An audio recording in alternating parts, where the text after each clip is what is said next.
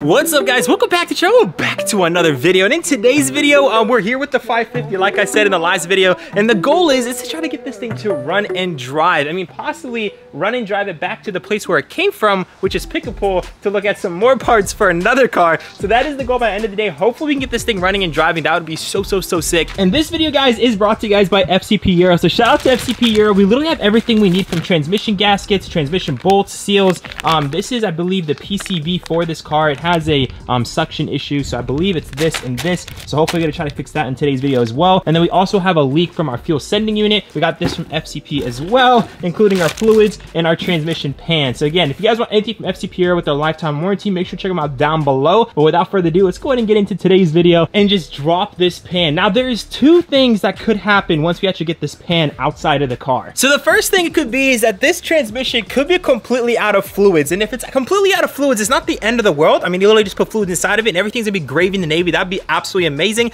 Uh, the second thing is it could be filled with fluids, but we find out that one of the seals are cracked and that is also really good news. But if the seals aren't cracked and there is lots of fluids in there, um, it could be very bad news because it could be the Mechatronics. And then at that point, we just wasted all of that. And uh, yeah, I mean, we're gonna need a new transmission. So I'm hoping, hoping, guys, it is not number three. And yes, we are doing this in my backyard with these Quick Jacks. So shout out to Quick Jacks for these things. They are honestly a lifesaver. It literally feels like I have a lift in my backyard. So that is super sick. But without further ado, enough talking, Nour. Let's go ahead and drop that pan.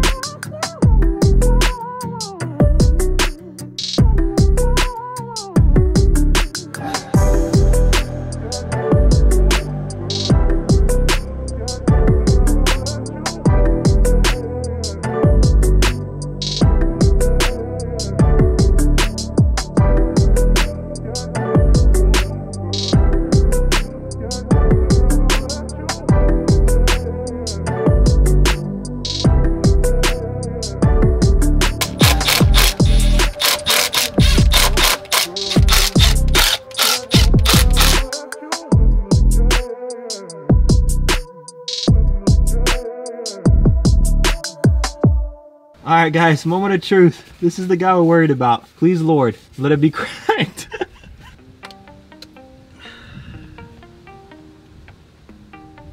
Dang, it looks good, huh? It doesn't look half bad. Rip. So now we're moving those other four gaskets, guys. So there's usually like a bridge one right over here that we already removed. It looked fine, honestly. And then there's those four right there in the middle. They just look kind of pressed in. I, mean, I doubt those are ever really cracked. Um, so that's kind of unfortunate. So we're gonna go ahead and replace everything. We did have low fluids. So I'm trying to trying to be positive here, but I have low expectations at this point. So wish us luck, guys.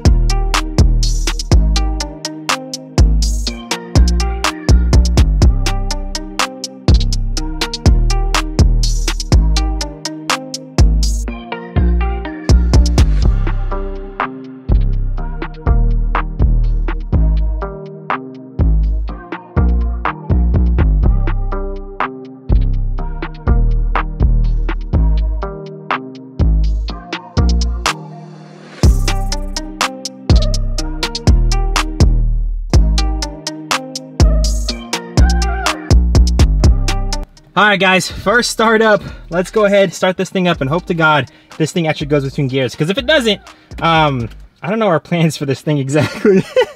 Three, two, one. Okay, so far so good, blowing cold AC. That's all great in the Navy, but obviously if the train doesn't work, we're just gonna leave it running, guys, and uh, we're gonna try to pump in more fluids.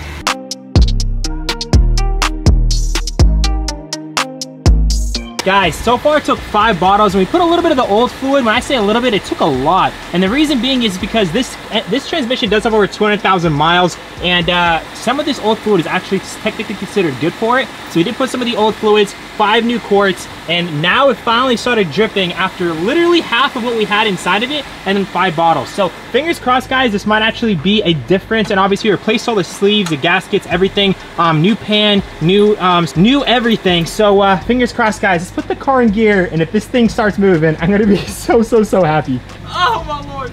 It's in drive.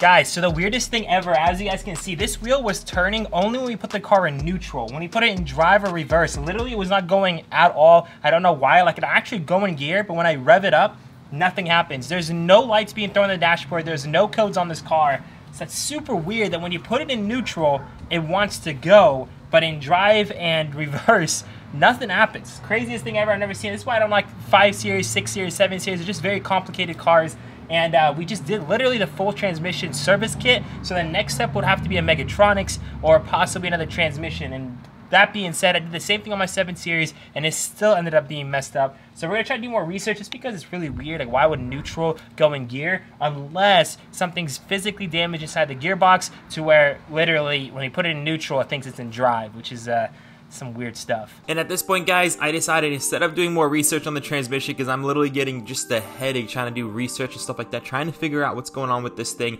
um, I was like, you know what, let me just go ahead and replace the PCVs. So as you guys can see, the gasket's actually blown on here, which is a very common issue. My 650, I think it was a similar issue as well. So we decided to replace both of these with FCP Euro OE parts. Um, so definitely ended up fixing the bogging issue that I was having because I was getting a half check engine and I think it was because of that because I stopped having a check engine light once I actually replaced this part. So I was super happy about that. Also shout out to Shop Life TV. I don't know if I mentioned it earlier, but Shop Life TV, I contacted him in regards to the transmission issue and uh, he knows he's pretty much like a BMW genius when it comes to this kind of stuff. And he told me um, to check a few things. That's what I did. I went ahead, dropped the pan, uh, checked the fluids again, all that stuff. And I was, I decided, you know what, I might, might as well just recycle these fluids and reuse this pan as well for a future project. Put back on the original pan.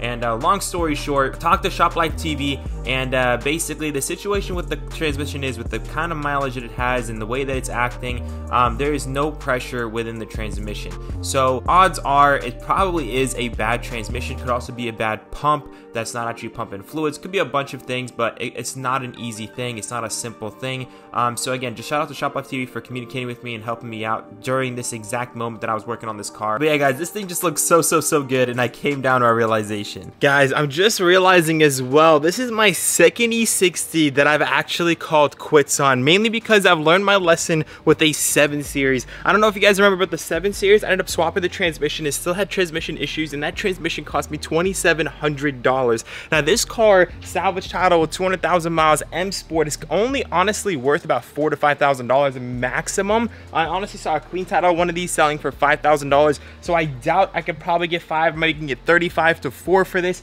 And considering I'm already 25 into it, and the transmission costs about $1,500, the cheapest one I could find. Actually, technically, the cheapest one I could find is about $1,200. If I get that transmission, end up having the exact same issues as the 7 Series where it needs coding, and then it still ended up that that other transmission had issues, um, I'll be in it too deep, and I'll be losing money on this build. You guys know what the end goal is for the end of this year, and I'm gonna have to try to play it as smart as possible. Now, this car, um, I could do one of two things. We can go ahead and sell it as is. I'm sure I can get my $2,500 back just because it's an M Sport, complete M Sport um, LCI with LCI lights and everything, and the interior is fully loaded. Now, this thing's an absolutely insane car, and I really wanted it to run. It, it was actually the exact same color as my E60 M5 that I couldn't get running, and it has just as many specs in the inside as the E60 M5 I had. It was absolutely insane, and it is just one coincidence. And honestly, guys, at this point in my life, um, I still really want an E60 that's running, whether that's an E60 M5 or an E60 eh, 535. I just want kind of an E60 on this channel, so that's what I'm kind of considering. So the first option is to sell it as is for $2,500 so we can get out of this and not lose any money, pretty much just break even. Or what we can do is keep this car as a donor car and a parts car and find ourselves a crushed 535i with lower mileage, transfer this entire M Sport kit on there, transfer the entire, you know, sport, because we got sport seats in here, we have heads-up display, sport steering wheel, a bunch of good stuff in this car. And this is an LCI, so it's LCI door panels, LCI seats, LCI headlights, LCI taillights, M Sport wheels. So again, this car has a lot of really, really, really good parts. Honestly, a part out would be ideal, but I don't want to go ahead and part out cars. It's just, it takes a lot of time and I'm not able to actually do what I love, which is YouTube. So again, first option, should we just get rid of this thing, break even, $2,500 and just move on? Or should we just roll this into the backyard for now, start on the E91 M3 project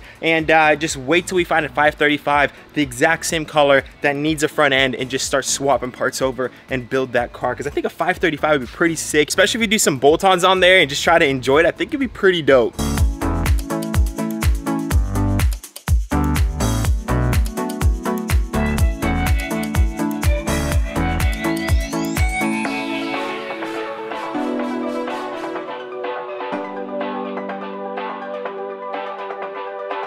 All right, guys, so we finally got the E91 wagon right up here. This is gonna be the M3, hopefully in the next couple of weeks, possibly a month, maybe two months. We'll see how things go. I have no idea. I've never actually done a project like this, and especially this is probably like testing my limits to the complete max. So we'll see how this project goes, but I'm so excited to start getting to that. Um, we do have the, oh my God, bro, I was almost gonna say M5. it looks like an it, bro. this thing looks almost exactly like the M5 that I had, the E60 M5. Um, and by the way, um, shout out to my boy Arlan for coming over and help me move all these cars, um, because honestly, there's no way I can do this on my own. You guys saw me struggle trying to move the E91 on my own over here, almost impossible. You need at least two guys. But yeah, since the car is just chilling over here, Arlan had the good idea. He's like, hey, no, you should at least try to clean this thing up. We were revving this thing. We were just using the keyless entry, all the features. This thing is just so mint, other than the transmission. So I say, and Arlan says, let's go ahead and just clean it up, make it look super good, and just leave it back here. And if we find a transmission in the upcoming months, it's not gonna be our priority, but if we find a transmission, then we end up swapping it. If I cannot find a good transmission for a good deal, then we'll just end up using this car for parts, mainly because, guys, this engine is so solid. Everything is so solid. It just hurts. Like, literally, it sounds so good, too.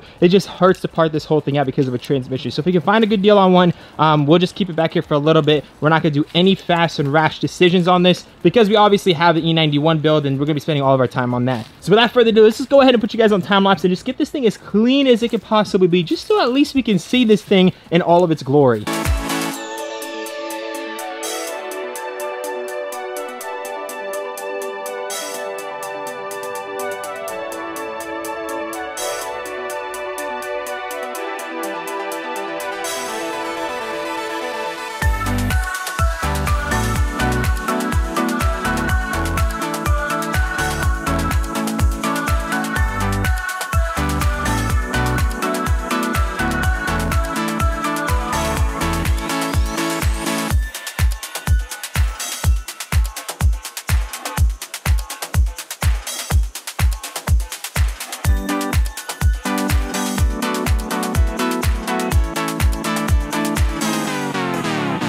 And guys, we are at the end of the video. So yeah, the 550i is uh, it's, it's at that same situation where we were with the E60 M5.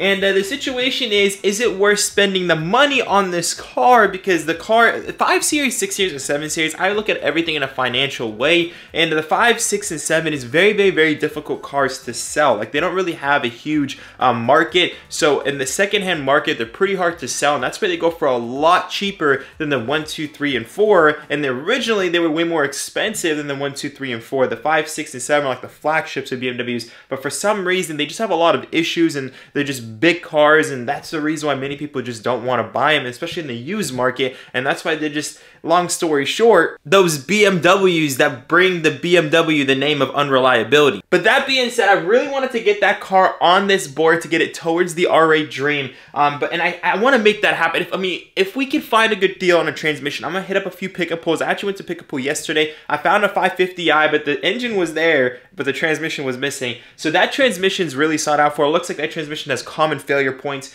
And uh, if we can find that transmission for under maybe like $600, I'm gonna cop that transmission and try to do that swap. Uh, but until then, um, either I'll look for a transmission or I'll look for a 535 on Copart that needs a M Sport kit, that needs an LCI upgrade, and needs pretty much the whole conversion and then we can use our car as at least a good donor car for that car because I think a 535 would also be really really really sick. So that being said we do have two plans for it. I don't really want to part it out and I don't really want to get rid of it but uh, there is some good news to this video. So finally finally finally guys the E91 build is back on track. We did end up picking up our donor car. It's gonna be coming in this week hopefully by the end of this week. So if it comes in sooner uh, I'll be able to show you guys our donor car. Let's just say you guys are gonna be very proud of me because I think I got the best best donor car I could get for the money. So that being said, the E91 project is on the way. It's gonna be so, so, so sick. I cannot wait to start diving into it. The 550i is gonna be put off to the side, but as soon as we can get back onto that project, we will. That's more of like a side project slash flip slash enjoying cars. That's not really like the main focus of the channel, but the main focus of the next couple of videos is gonna be obviously the Supra and the E91 M3 build. So if you guys are excited for that, make sure to smash the like button. But without further ado, I love y'all so much. Remember to stay humble. I'll see y'all on the next one.